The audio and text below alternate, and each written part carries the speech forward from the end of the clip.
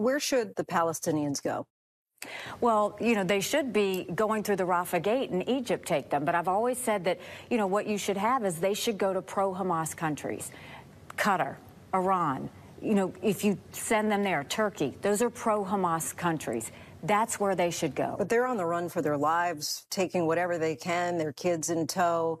They're not able to get into Egypt. How are you supposed to even make it to Qatar at this point? Isn't that telling that Egypt won't take them? Why won't Egypt take them? Because they don't trust which ones are terrorists and which ones aren't.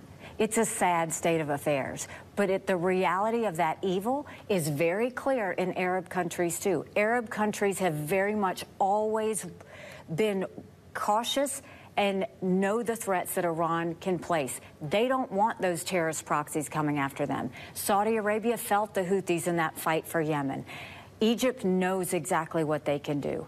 But instead of the world hitting on Israel, who was brought to her knees in the worst in invasion since the Holocaust, why isn't everybody talking to Egypt? Why aren't they talking to Turkey? Why aren't they talking to Qatar? Why aren't they talking to Iran? Why aren't they doing something to help the Palestinians?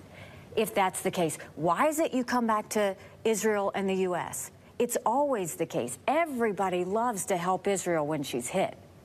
But all of a sudden, they hit, they, they're quick to, to beat up on Israel when she hits back.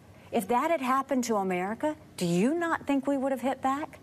But where are the friends of those pro Hamas people? Where are the friends of Gaza? They should be the ones doing what they need to to save them.